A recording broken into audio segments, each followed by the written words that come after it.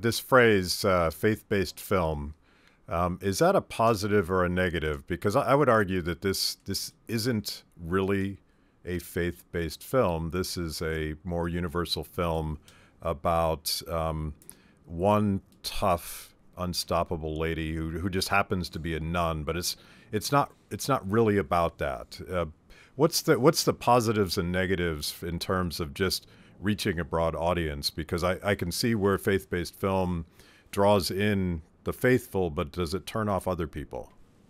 That's one of the beautiful things about this film is it's one of the first films in a very, very long time that is attracting both the faith audience and the secular audience.